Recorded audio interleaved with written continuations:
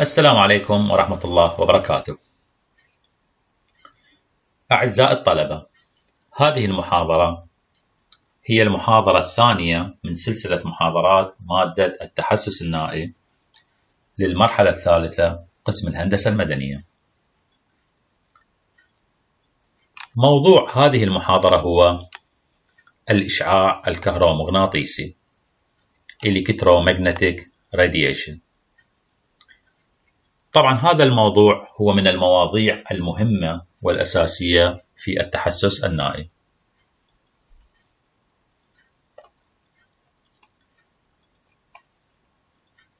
نأتي إلى مفهوم الإشعاع الكهرومغناطيسي.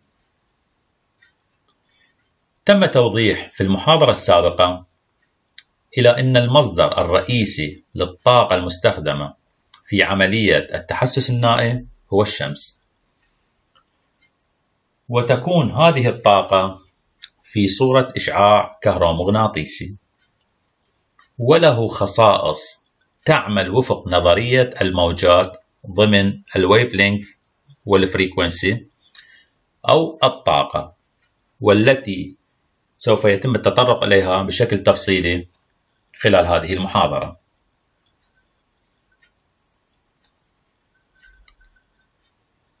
كما موضح بالشكل يتكون الإشعاع الكهرومغناطيسي من مجالين. هما electrical field ويرمز له بالرمز E والمagnetic field ويرمز له بالرمز M. يكونان هذان المجالين متعامدين على بعض وكلاهما يسيران بسرعة الضوء اللي هي 3 في 10 أس 8 متر على الثانية.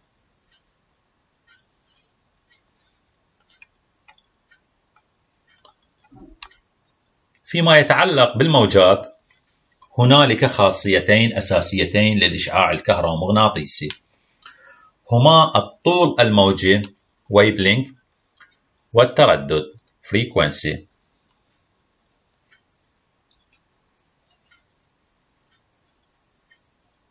ما هو الطول الموجي؟ هو طول دورة كاملة للموجة. ويتم قياسه كمسافة بين قمتين متتاليتين.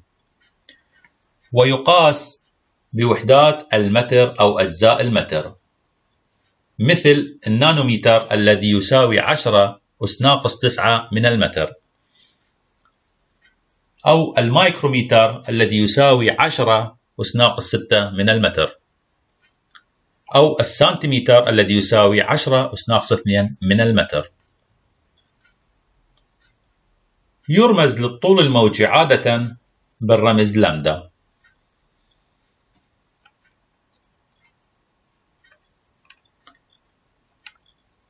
أما التردد frequency فهو يمثل عدد دورات الموجة في فترة زمنية محددة.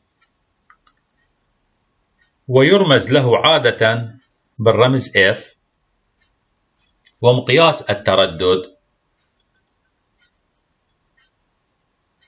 ويقاس التردد عادة بوحدات الهرتز.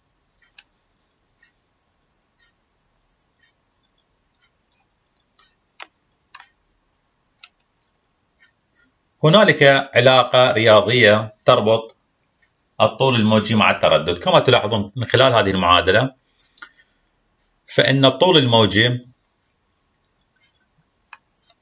يرتبط بعلاقة عكسية مع التردد.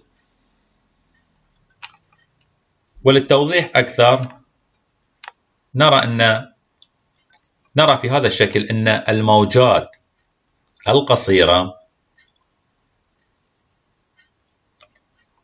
يكون ترددها عالي. أما الموجات الطويلة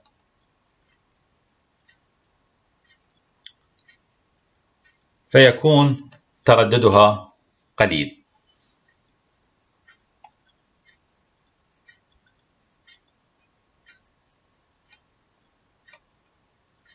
نأتي الآن إلى مثال توضيحي حول هذا الموضوع What is the wavelength of electromagnetic radiation which has a frequency of 5 في 10 أس 10 Hz Also, what type of electromagnetic radiation has this wavelength? من خلال العلاقة التي تم الإشارة إليها لامدا تساوي C على F ال C هو مثل ما أشرنا إليه سرعة الضوء 3 في 10 أس 8 والتردد معطى في السؤال 5 في 10 أس 10 هرتز اللي هو واحد. على الثانية النتيجة هي 0.6 سنتيمتر الشق الثاني من السؤال كان ما هو نوع الإشعاع الكهرومغناطيسي لهذا الطول الموجي؟ من خلال الشكل الأدنى نلاحظ أن هذه القيمة تقع ضمن نطاق المايكروويف من الطيف الكهرومغناطيسي في بعض التطبيقات يكون استخدام طاقة ال photons أكثر ملائمة من الموجة. حسب قانون بلانك فإن كمية الطاقة المحملة بالفوتونات وبطول موج محدد يمكن حسابها من خلال هذه العلاقة الرياضية. كمية الطاقة تساوي Planck constant ثابت بلانك في التردد. وعادة التردد يتم حسابه من خلال الطول الموجي.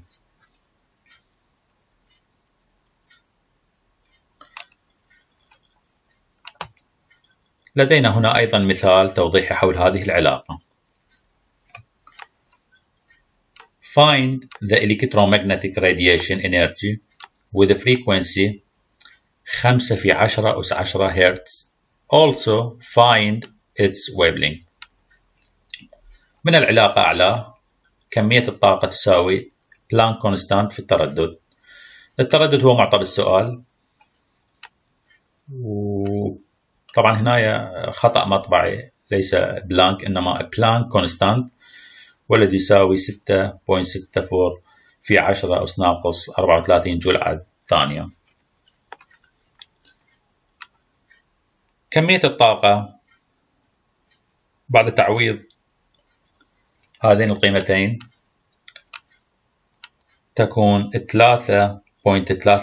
في 10 أس ناقص 2 أو ناقص 23 خطأ أيضا مطبعي هذه هي كمية الطاقة. الشق الثاني من السؤال إيجاد الطول الموجي. حسب العلاقات التي تم الإشارة إليها سابقا فإن طول الموجي يساوي H في السي على كمية الطاقة. يتم تعويض هذه القيم فنحصل على الطول الموجي بقيمة 0.6 سنتيمتر.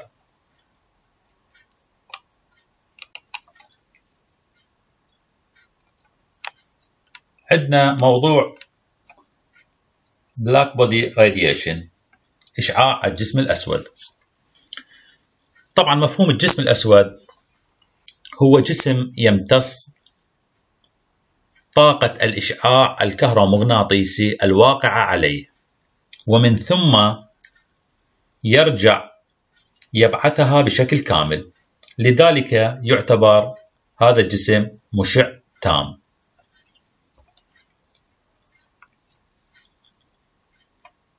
يجب أن نعرف هنا أن الطاقة المنبعثة من جسم ما تختلف باختلاف درجة حرارته حيث أن الطاقة المنبعثة تتزايد بسرعة مع ارتفاع درجة حرارة الجسم. ستيفان بولتزمان أوضح أنه يمكن حساب كمية الطاقة المشعة لجسم ما اعتمادا على درجة حرارته. من خلال هذه العلاقة الرياضية. M تساوي ستيفان كونستانت وهو معطى في الأس الرابع لدرجة حرارة الجسم بالكلفن.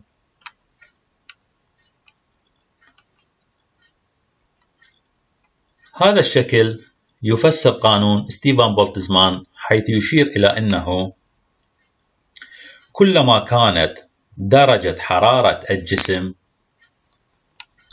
أعلى كلما كان مقدار الإشعاع الكلي الذي يبعثه أكبر وطوله الموجي أقصر.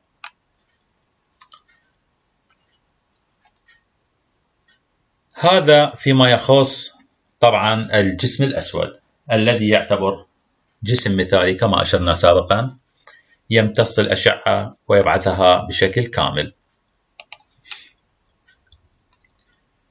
على أرض الواقع لا يوجد جسم أو سطح لمادة تسلك سلوك الجسم الأسود وذلك اعتمادا على خاصية تدعى بال emissivity ما هي ال emissivity؟ ماذا نعني بال emissivity؟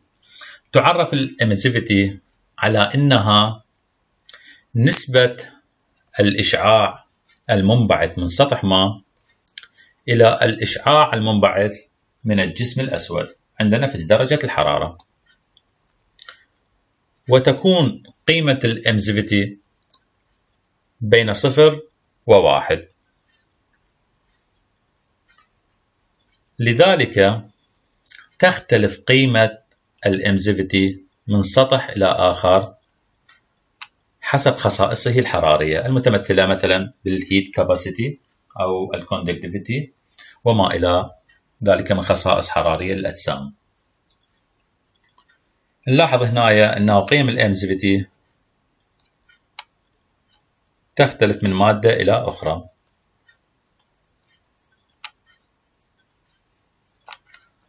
وبذلك يكون قانون ستيفان بولتزمان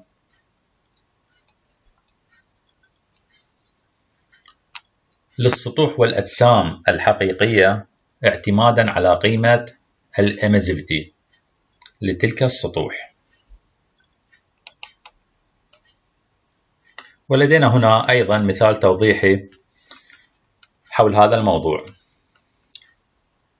Calculate the temperature of a black body if the measured energy output is 3544 واط على المتر المربع كمية الطاقة تساوي لنا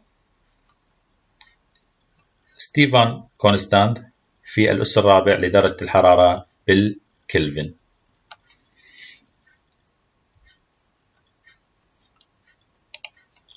المطلوب في هذا السؤال هو درجة حرارة درجة الحرارة. بعد تعويض قيمة كمية الطاقة وستيفان كونستانت نحصل على درجة حرارة الجسم اللي هي 500 Kelvin degree. سؤال آخر أيضا لأحد الأجسام. باستخدام قيمة ال emissivity أيضا القانون يصبح كالتالي كمية الطاقة تساوي لنا. Stefan constant في ال emissivity في الأس الرابع لدرجة حرارة الجسم. درجة حرارة الجسم بعد تعويض القيم المعطاة في السؤال نحصل على 631 Kelvin degree. نلاحظ في هذا الشكل وجود إزاحة في منحنيات توزيع إشعاع الأجسام نحو الأطوال الموجية الأقصر. وحسب قانون فيند للإزاحة فيند displacement law يمكن حساب أقصى انبعاث حراري للأطوال المو... الأطوال الموجية القصوى lambda max من خلال هذه العلاقة. لمدا ماكس تساوي 2897 على درجة الحرارة.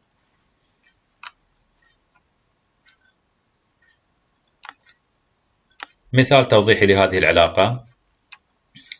If the temperature of a black body radiator is 127 Kelvin what is its peak of radiation? بتطبيق المعادلة lambda max تساوي 2897 على درجة الحرارة بالكلفن. فإن قيمة ال lambda max راح تكون 0.022 في 10 أس ناقص 3 متر. شكرا جزيلا للاستماع. تحياتي وأمنياتي لكم بالصحة والسلامة.